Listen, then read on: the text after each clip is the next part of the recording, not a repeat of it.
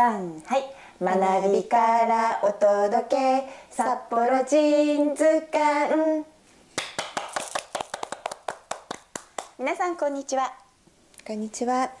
札幌でご活躍の方を1年365日毎日ご紹介しております札幌人図鑑。私案内人の福津京子です。そして今日のゲストは認定こども園学び理事長の三井由紀子さんです。はい。三井由紀子です。はい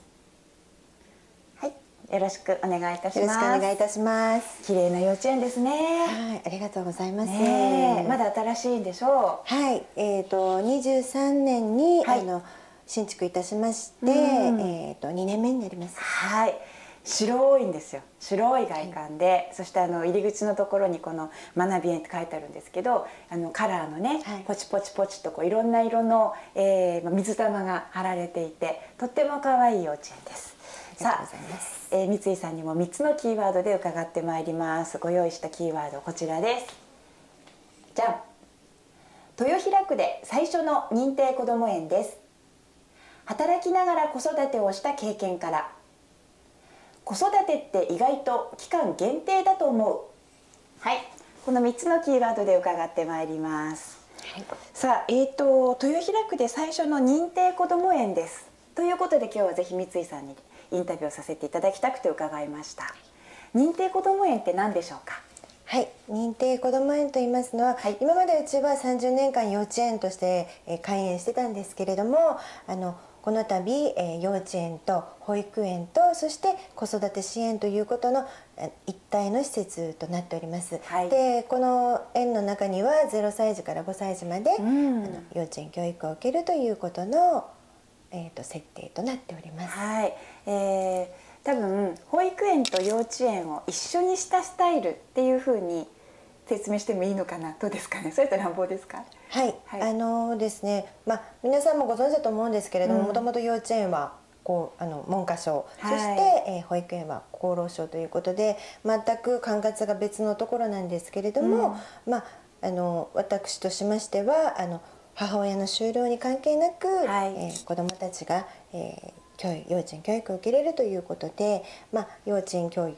と、そして、えー、保育園と本当に融合した施設として考えていただけたらなと思います。はい、はい、もうなのでこちらの園にお邪魔しますともう本当にゼロサイズの赤ちゃんもいるんですよ。はい赤ちゃんもいるしなんかこう子どもの成長が順番に見れてとっても楽しかったですっていうところがありますが、はい、本当そうですね。あゼロ歳児はゼロ歳児、うん、1年経つといやこんなにかっていうぐらいもうお兄ちゃんお姉ちゃんになっていて、はい、1歳から2歳2歳から3歳っても全然違いますね。そうですね、うん、本当に改めてうちもあの認定子どもになりましてからゼロ歳児と2歳児があの入園してきたんですけれども、はい、この期間の成長のの著しさって本当すごいなと改めて思うんですよね。もちろんあのこう抱っこしてた子が本当に歩き、はい、本当にもう1年も満たないうちに歩き始めますし、ええ本当に食べるものも違うし、あのそういった意味で本当に人間が一番著しく成長する期間だなっていうことを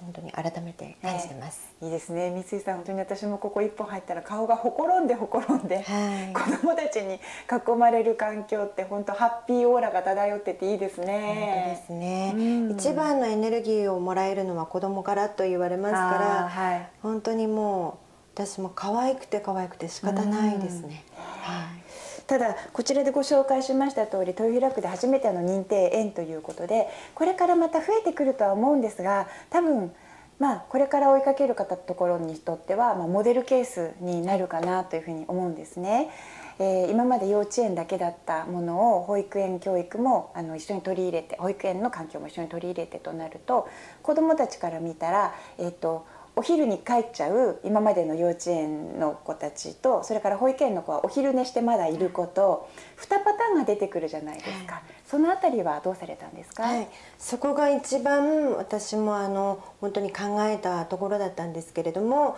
今まで幼稚園は幼稚園同じ環境の中でのお友達そして保育園は同じあの環境の中でのお友達ということが本当に今福さんが言われたようにあの講演するの幼稚園児と、はい、まあ、お母さんたちがお仕事ね終わってから迎えに来る子どもたちの、その時間の長さっていうのは本当にあるんですけれども、えー、その時点で本当に帰って早く帰れる子どもたちに対してその保育園児があのまあいいな早く帰れてとか。僕たちはまだなのかなっていう、うん、そういう思いを味わわせるのはどうなのかなってすごくそれは疑問に感じてまして、はい、あのまあ、時間をずらしてですとかあの、まあ、その施設のうん、あのまあ、1階2階のこう考え方っていうのもすごく考えたんですよね。なるほど。やっぱり寂しい思いをさせたくないっていう気持ちも私自身もあったものですから、でやはりその部分で1年目はいろいろ試行錯誤はしたんですけれども、はい、本当2年目になって、はい、あのこの間子どもたちがお昼寝をする子どもたちがパジャマを着替えている時に、あの幼稚園児帰る子たちが、はい、あのたまたま会った時に、うん、お互いに「バイバイまた明日ね」っていうふうに。えーいうのを見た時にあ本当に子どもたちの方が、あの順応性があるというか順応性が高いですよね。はいその、自分たちの環境を受け入れてるっていうのが、えー、あすごいなっ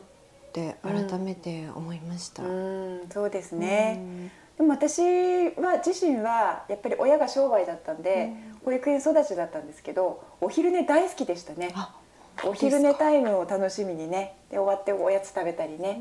なのであの半日で帰っちゃう帰ってきちゃう、まあ、我が子は幼稚園でしたけど半日で帰ってきちゃうのもったいないぐらいだと思いました。これから午後が楽しいのにみたいなね。なるほどですね、えー、そういうふうに思って我が子を見てたことがあるので、残る子は残る子の楽しみで逆にね、あまだいていいなっていう部分も幼稚園の子にもしかしたらあるかもしれませんよ。そうですね、うん、それもやっぱり一番あの私たちとも配慮したところで、はい、やはりあの一緒に保育園児と幼稚園児が3歳児から5歳児は一緒にカリキュラムを受けるというのが認定こども園なので、うん。はいやはりそれ終わった後に保育園児はこうメリハリのある生活というんですか、うん、やはりあのそれ終わった後はほっとできる、はい、年齢との交流っていうのを充実させなければなっていうこともすごく配慮したので、うん、まあ、楽しいなって思ってくれる、ほっとできるなっていう空間でありたいっていうのもずっと今だに思ってます。なるほど。幼稚園からあいいなってそのお昼寝して夕方までいると今度は午後から異年齢のね交流ができるということで一人っ子さんなんかはね逆にそういう環境を望まれて、うん、幼稚園で入れてたんだけどその、まあ、フルタイムでというかそっちに移動する方とかはいらっしゃいませんか？はい。あおります。あのまあ、それはお仕事されるっていうねされるっていうこともあるんですけれども、うん、あの認定こども園の良さは例えばあの幼稚園に通われてた保護者のお母様が、あの突然仕事をしなくてはいけなくなったっていう時に、やっぱり退園して保育園に行かなければいけないっていうのが、今まででうちもそういうことがまあ、過去にはあったのでそうなってもあの保育園の方に移って環境を変えずに、はい、環境を変えずに行ってあの小学校上がるまで一緒にお友達と入れるよっていうのがやはり認定こども園のいいところではあるので。それ大きいですね、だって乳幼児の時分かんないですもんね。どうなるか分かんない、ね、あの幼稚園に行けることも、あとお母さんの仕事の都合で保育園にまた戻すこともまあ、はい、あの預かり時間をね、はい、戻すこともできるっていうのはいいですね。そうですね。だから逆パターンもあります。あの、はい、保育園に通ってたんですけれども、うん、2歳児まで保育園に通ってたんですけれども、うん、たまたままああのおじいちゃんおばあちゃんが見れるということで、えー、幼稚園に通って、えー、また移るっていうことも、そこは割とフレキシブルに、えー、あの移動しやすいっていうのが、うん、あの認定こどもへの良さであるんですね。私三井さん大きいと思う。お母様たちにとってこれ大きいと思います。どうなるかわかんないじゃないですかそうなんですよね、はい、本当に、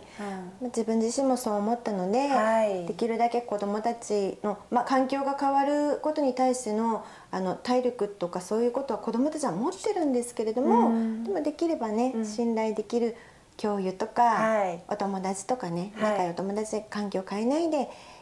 ってあげたらいいのかなっていうのは私の願いでもあります、認定こども園になってから給食室も新しく作られてはい、はい、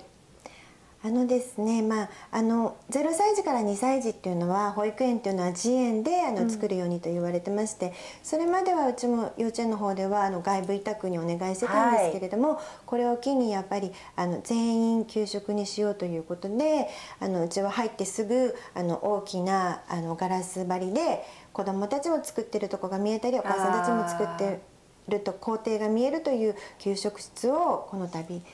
えーと、作りまして、はい、はい、もう私目が釘付けになるぐらい美味しそうな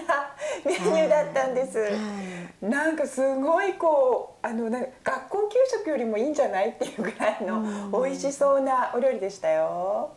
そうですね、ね、本当にまあ全てがあの手作りであるので、お出汁ですとか、はい、そのカレーもあの小麦粉から作ってますし手作りでねはいで私もあのやはり子どもたちの体を作るのは、うん、あの本当にねこのこの時期が本当に大切だと思っているので、はい、まあ、お水も浄水器をつけたりとか、うん、できるだけ子どもたちがこうもう、まあ、あんまりストレス性のない、食事に、あの慣れることができたらいいなっていうふうに思ってまして、でやはり温かいものを食べることができるので、はい、まあ子どもたちも本当に喜んで、えー、もりもり食べてました。よ美味しいんでしょうあれ、この間だから1歳児ももう食べてる時に「美味しい!」って言って万歳しながら頼んだ時にああ心と食事って本当に連動してるんだなっていうこともね。1歳児ぐらいではもうそんな感じはいもう私も本当びっくりしました。美味しいって。もう満面の笑顔で言ったのを見てあそういうことももう1歳児でも感じることができるんだなっていうことも改めて学びました。はい食事って大切ですしね。ねあの子供正直で美味しいと食べるんですよ、本当に。本当正直ですよね。正直ですよ。美味しくないものはそうやっぱり残すんですよ。すねはい、大人が食べてもちょっともう一つの時は残すしね。はい、大人が食べても美味しい時はやっぱりペロッと食べる。はい、本当そう思いますね。ね正直で。ただあの子供たちいろんな子がいると今時はちょっと難しいところもあるんじゃないかなと思います。そうですね。やっぱりアレルギーのお子さんも多いので、はい、やはり保護者の皆さんと面談しつつ。うん。まあ、アレルギーに対応できるように、ね、して、まあ、他の子どもたちと食べる時にあまり差異もなくする、はい、して楽しむことができたらなっていうことで対応してます、ね、そうですね、はい、えー、このようにきめ細やかなですね対応をしながら楽しく給食タイムを過ごしております。では2つ目のキーワードです